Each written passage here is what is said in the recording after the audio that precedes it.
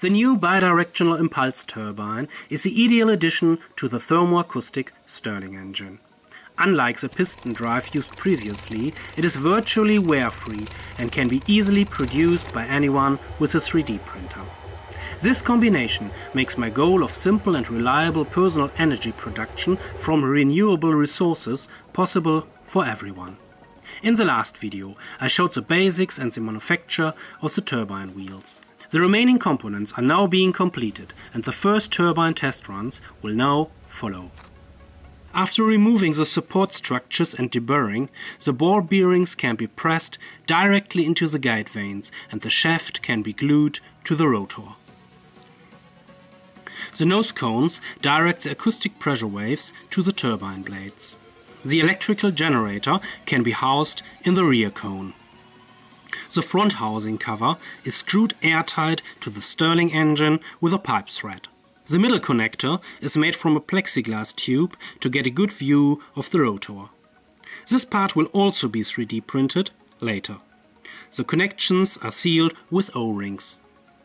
The rear casing cover also has a pipe thread to allow universal mounting at a later date. When fitting the parts, it is important to ensure that the dimensions are accurate so that the rotor runs as smoothly as possible with as small gaps as possible.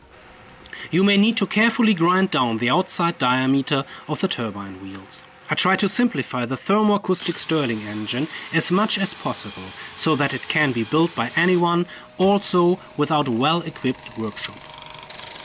At the same time, the acoustic performance has to be increased significantly to allow a sensible use of energy.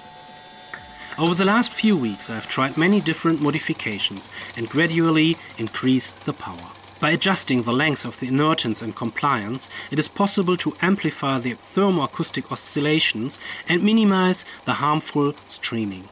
With all these measures, I have slowly got the turbine turning, but using it with even the smallest generator is out of the question. Nevertheless, for me, this is a success and proof of functionality. The turbine is probably too oversized for the weak Stirling engine. I still believe in the potential of the thermoacoustic Stirling engine as a do-it-yourself micro-cogeneration unit for everyone. However, in order to achieve a necessary significant increase in power, a greater amount of working gas must pass through a higher temperature differential.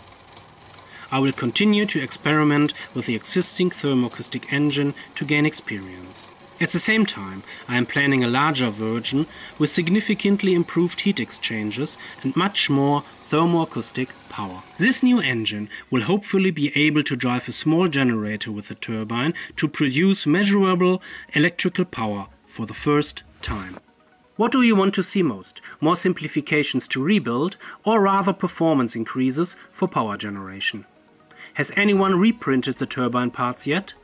Please let me know in the comments. Thanks for watching.